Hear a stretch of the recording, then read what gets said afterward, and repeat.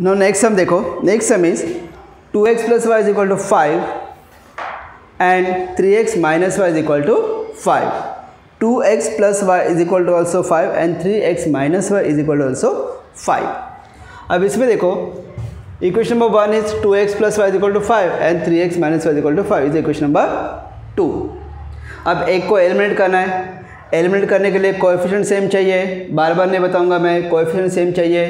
Okay तो इसमें किसके कोएफिशिएंट सेम है? वाई के सेम है। समझ में आया? ओके एक कंडीशन इसका ये होगा कि कोएफिशिएंट सेम मिले। अब एडिंग और सब्ट्रैक्टिंग मैंने कहा था different sign goes to adding same sign goes to subtracting तो डिफरेंट साइन है यहाँ पे प्लस और माइनस इसलिए इनको ऐड किया। ऐड करने के बाद two x plus three x five x y y cancel five plus five ten so five x equal to ten so x equal to ten divide by five and x equal to two क्या क्या मैंने? Ten divide by five किया तो x की value क्या आती है? Two now plus x equal to in equation one क्या करना है? इक्वेशन वन में रखा. One is two x plus y is equal to five so two into two plus y is equal to five so two two ज़ा four plus y is equal to five y is equal to five minus four y is equal to one तो इसमें Y की value क्या है? One और x क्या है? To आया समझ में? यहाँ तक समझ में ऐड किया कट हो गए। Five x equal to ten x equal to ten divide by five answer is two इसको हम लोग ने प्लेस किया कहाँ पे? इक्वेशन वन में। तो इक्वेशन वन क्या है? Two x plus y is equal to five तो टू की जगह पे सॉरी एक्स की जगह पे टू लिखा। टू टू ज़ा four plus y is equal to five y is equal to five minus four यहाँ पे प्लस है, यहाँ पे माइनस हो गया। Five minus four is equal to one. तो इस इक्वेशन में x की वैल्यू क्या है? टू एंड y की वैल्यू वन। ये जो सॉल्यूशन सेट है, ये सॉल्यूशन क्या करता है? इन दोनों इक्वेशन को सेटिस्फाइड करता है। क्या करता है? इन दोनों इक्वेशन को सेटिस्फाइड करता है।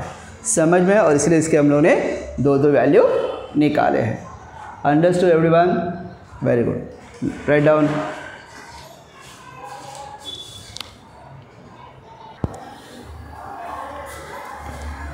Now, next sum is 3x minus 5y is equal to 16 and x minus 3y is equal to 8. Okay, क्या है देखो equation 3x minus 5y is equal to 16 and x minus 3y is equal to 8. Equation number one and equation number two सबसे पहले हम लोग का standard form में है या नहीं? स्टैंडर्ड फॉर्म में है राइट अब स्टैंडर्ड फॉर्म में है तो क्या करना देख, देखना पड़ेगा अभी?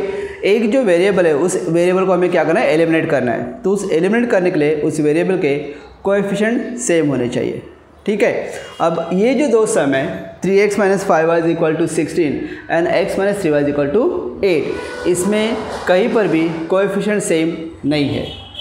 कोएफिशिएंट कहीं पर भी सेम नहीं है। See three x minus five y is equal to sixteen and x minus three y is equal to eight अब देखो, यहाँ पे थ्री एक्स है three x minus five is equal to sixteen और यहाँ पे x minus three y is equal to eight अगर मैं y को सेम करने जाऊँगा, y के अगर कोएफिशिएंट सेम करने जाऊँगा तो मुझे क्या करना पड़ेगा? यहाँ पे थ्री और यहाँ पे फाइव से मल्टीप्लाई करना होगा, क्योंकि फाइव और थ्री एक ही टेबल में नहीं आते। अगर वहाँ पे सिक्स होता नाइन होता तो मैं थ्री को थ्री या टू से मल्टीप्लाई करके उसको सेम करता। लेकिन यहाँ पे दोनों का एलसीएम आता है फिफ्टीन फाइव और थ्री का एलसीएम कहता है फिफ्टीन तो मुझे दोनों जगह पे फाइव जो, जिस जहाँ पे फाइव है, वहाँ पे थ्री से मल्टीप्लाई करना होगा और जहाँ पे थ्री है, वहाँ पे फाइव से मल्टीप्लाई करना होगा. उसके बाद तो चलो मैंने y को छोड़ दिया. मैं y को एलिमिनेट नहीं करा तो मैं x के पास गया. तो यहाँ पे थ्री है और यहाँ पे वन है. यहाँ पे थ्री और यहाँ पे वन तो मुझे लगा कि अगर मैं इक्वेशन टू को कन्वर्ट करूँगा तो मेरे लिए अच्छा रहेगा. इक्वेशन टू को अगर मैं कन्वर्ट करूँगा तो मेरे लिए अच्छा रहेगा क्योंकि मुझे एक ही बार मल्टीप्लाई करना होगा. यहाँ पे थ्री लाने के मुझे खाली क्या करना है एक ही बार मल्टीप्लाई करना होगा। So multiplying equation two by three तो मैंने इक्वेशन टू को क्या किया? थ्री से मल्टीप्लाई किया। तो नया इक्वेशन आया। That is three x minus nine y is equal twenty four मैंने तुम लोग को बताया ना कि थ्री से हम लोग इक्वेशन को मल्टीप्लाई कर रहे हैं। मतलब सारे नंबर्स को मल्टीप्लाई करना पड़ेगा उस इक्वेशन के। Do you understand everyone so three x 3 is a 9, 3 8 is a 24. That is equation number 3.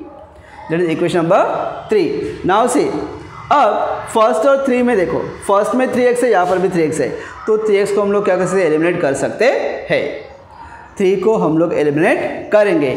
लेकिन एलिमिनेट करने के लिए उसके जो साइन है, वो साइन डिफरेंट होने चाहिए सेम होने चाहिए, कोई फ़र्क नहीं पड़ता। बस इतना है कि साइन अगर डिफरेंट तो ऐड करना है सेम है तो सब करना है। डिफरेंट वाला सम हम लोगों ने किया था सेम वाला सम करते हैं।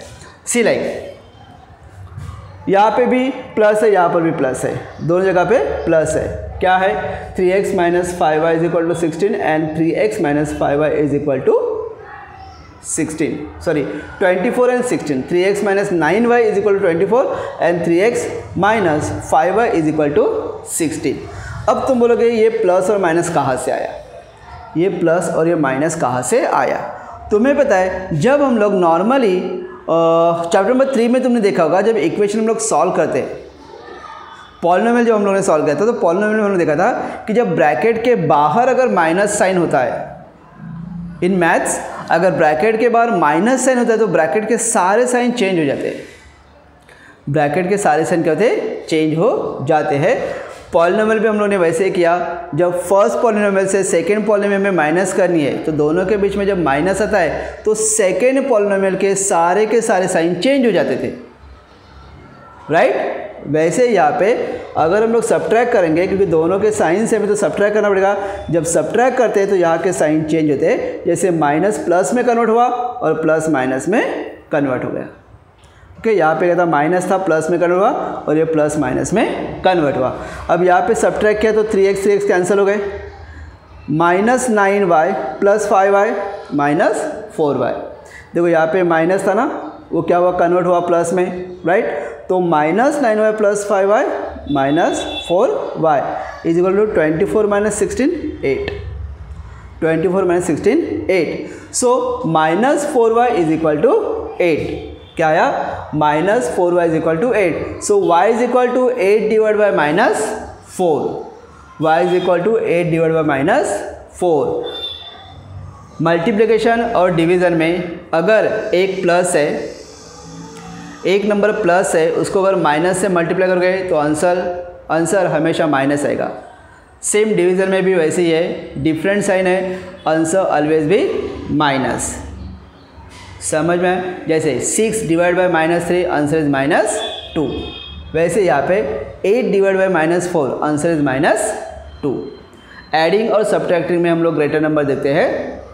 मल्टीप्लिकेशन और डिवाइड डिवीज़न में हम लोग डिवाइड करते समय हम लोग ग्रेटर नंबर नहीं देखते हैं। रूल है multi minus into minus plus minus into minus plus okay minus into plus always minus division में वही है।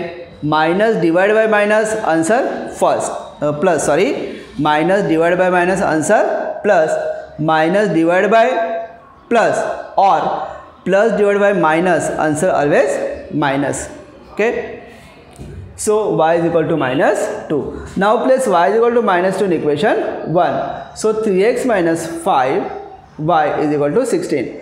Therefore 3x minus 5 y की value minus two is equal to sixteen अब ये मत सोचना कि यहाँ पे माइनस टू यहाँ पे माइनस है तो यहाँ पे माइनस लिखने की ज़रूरत क्या है कि यहाँ पे माइनस टू इसलिए लिखा कि y की वैल्यू है माइनस टू तो y की जो वैल्यू है तो उसको देनी पड़ेगी minus two and that's why three x minus five minus two is equal to sixteen three x minus minus plus five two ज़ा ten three x plus ten is equal to sixteen so three x equal to sixteen minus ten यहाँ पे plus यहाँ पे minus हो गया and three x equal to six three x equal to six and x equal to six divide by three x equal to two Answer is two and minus two.